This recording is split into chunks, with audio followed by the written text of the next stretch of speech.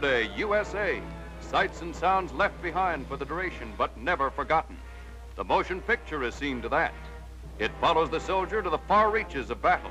Bright lights, laughter, home for those who thirst for sights and sounds not alien to American eyes and ears.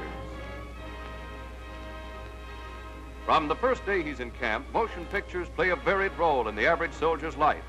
Not only is he entertained by them, he's also oriented and trained through the medium of the silver screen. Training films boast a worldwide attendance of 30 million GIs monthly. To date, the Army has produced 708 training films.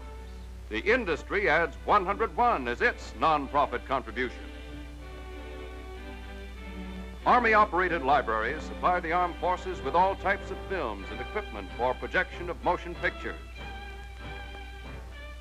260 libraries in this country, approximately 60 overseas, bookings soaring into astronomical figures. A barometer for gauging the response of the using branches to films designed solely for the military. And there's no denying Johnny Doughboy's interest in the Fighting Men series, a 100% Hollywood product providing grim training lessons. To fully appreciate their popularity is to reveal that 5 million soldiers monthly attend screenings of the Fighting Men film. These and thousands of additional reels shown and reshown must necessarily receive careful handling. Inspection and repair of films and machines occupies soldier technicians skilled at this type of work. Equipment that gives life to precious celluloids, such as the Why We Fight orientation films fashioned by Hollywood-trained craftsmen. Worldwide Army release alone requires 225 prints per subject. Dramatic to the extent of arousing those who must meet the common enemy. This series goes a long way toward familiarizing our soldiers and the nation with the fitness and ruthlessness of the foe.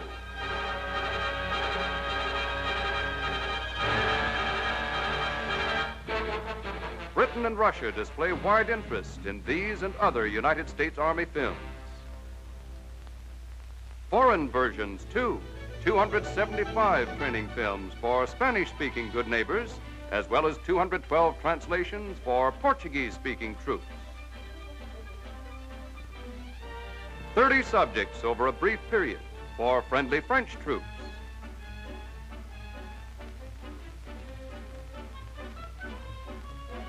We've translated 177 films for the Chinese Army, putting strange words into G.I. Joe's mouth. 用来节制眼睛旋转的速度， 那样就能保持安全跟节省油料消耗。In our Army, entertainment shorts mean GI movies and screen magazines. Overall total, 320 prints per release. Behind the scenes are the soldier producers, writers, directors, cameramen, editors drawn from Hollywood to do a job for the military. Including all armed forces, the industry service roster has reached 29,652. However, as vital as anything the film people are contributing is the role they're playing in the maintenance of morale among the rank and file of our embattled legions. Those assigned the terrific task of storming the beaches of the seven seas are carrying out their assignments with decisive fury. But apart from the actual fighting, they have definite cravings. Letters from home and entertainment motion pictures. Hollywood features that will provide brief respite from the nerve-shattering thunder of battle. The films are greeted like long-lost friends.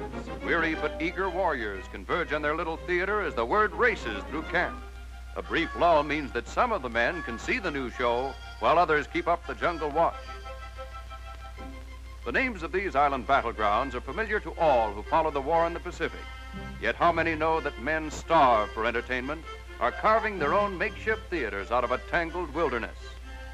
These scenes and all that follow were photographed by combat camera crews. This is the real McCoy, spot coverage that breathes realism into all that has been written about the average GI and his craving for motion pictures. Wire reels for seats, coconut logs for seats in a palm grove selected for added atmosphere. They even line up all the empty gas barrels in sight. Anything that can be sat on. Ingenuity born of necessity. And their arrangement makes good sense, right up to the placement of the projection booth. Sometimes rear echelons can go in for fancier and more permanent structures. This is the best in the area. But fancy or otherwise, the same results are produced. Countless thousands of war miles, millions of troops, heterogeneous in other respects, yet maintaining a mutual interest in screen entertainment.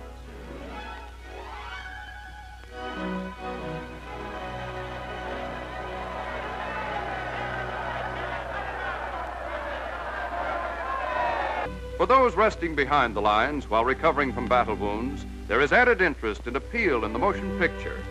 Time passes easier and more quickly. Imaginations are stimulated, and the scars of combat minimized for the moment.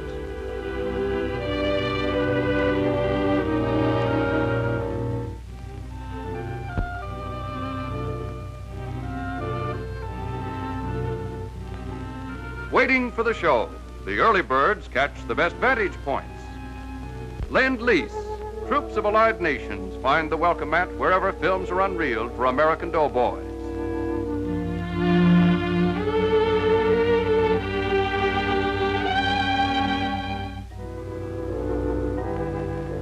A special treat tonight for New Zealanders, fighting side by side with the Yank in wet and heated jungles.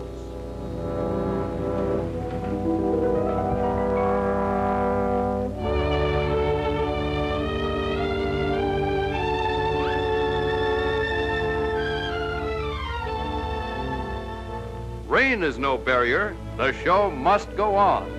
Shielded by jungle ponchos and other coverings, our troops sit through the pouring tropical rainstorm, and it would be bad for the operator were he to stop the show.